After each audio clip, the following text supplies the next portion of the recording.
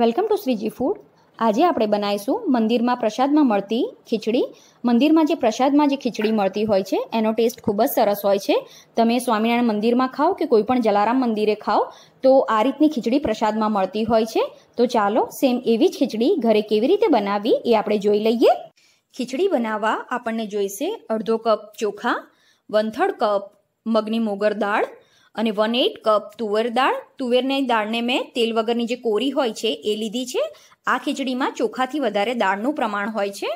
તો આ ત્રણેય વસ્તુને એક તપેલીમાં આપણે લઈ લઈએ.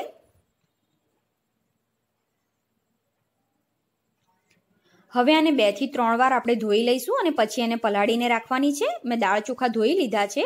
હવે બે ઇંચ આપણે પાણી લેવાનું છે તો દાળને ચોખાની ઉપર તમારે આ રીતે હાથ રાખવાનો અને એમાં બે ઇંચ આવે એટલું પાણી તમારે એડ કરવાનું.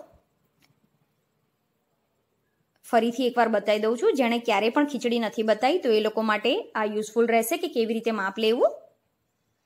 હવે આ મિક્સ વેજીટેબલ લીધા છે જેમાં કોબીજ દૂધી, બટાકા ટામેટા, ગાજર, રીંગણ અને લીલા વટાણા છે. ઘરમાં જે શાક અવેલેબલ હોય અને જે ભાવતું હોય એ પ્રમાણે તમે આમાં શાક એડ કરી શકો છો. પણ આમાં શાકની ક્વોન્ટિટી વધારે હોય છે. એટલે જો શાક વધારે હશે તો ટેસ્ટી લાગશે.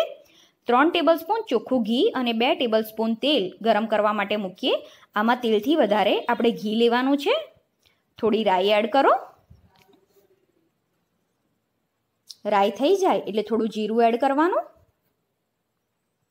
હવે આમાં ખડા મસાલા એડ કરીએ, જેમાં સૂકું લાલ મરચું, તમાલપત્ર, મરી, લવિંગ અને તજનો એક નાનો ટુકડો છે. આને એકવાર મિક્સ કરી લો. એક ટીસ્પૂન હળદર એડ કરીશું.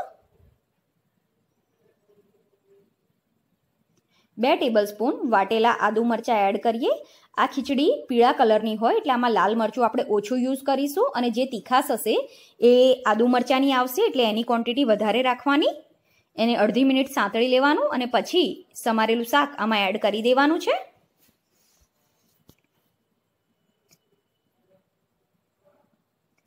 ગેસની ફ્લેમ હાઈ કરી દો ને આને એકવાર મિક્સ કરી લો.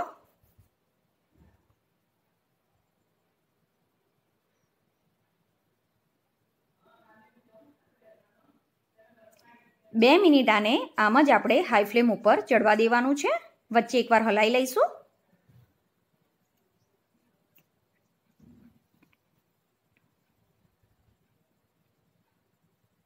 જે દાળ ને ચોખા આપણે પલાળીને રાખ્યા છે, એ પાણી સાથે જ આમાં એડ કરો.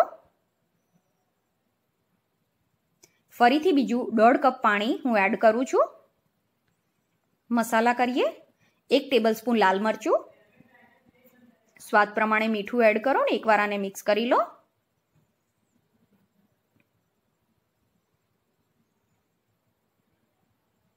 હાફ ટીસ્પૂન ગરમ મસાલો આપણે એડ કરીએ. સરસ રીતે બધું મિક્સ કરી લેવાનું છે.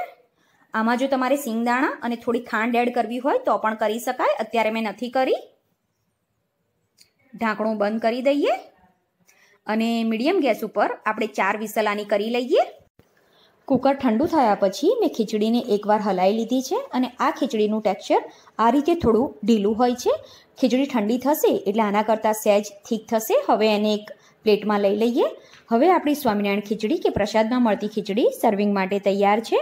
મેં ઉપરથી પણ થોડું ઘી અને સમારેલી કોથમીર એડ કરી છે.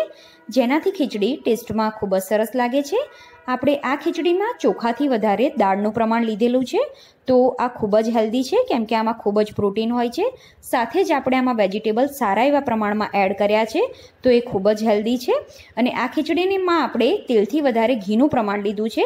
તો કોઈપણ વસ્તુ જ્યારે તમે ઘીમાં બનાવો તો એ ખૂબ જ મીઠો લાગતો હોય છે એનો ટેસ્ટ. તો તમે પણ આ રીતે ખીચડી તમારા ઘરે બનાવીને જરૂર ટ્રાય કરજો. તમારા ઘરમાં આ ખીચડી બધાને ખૂબ જ પસંદ આવશે.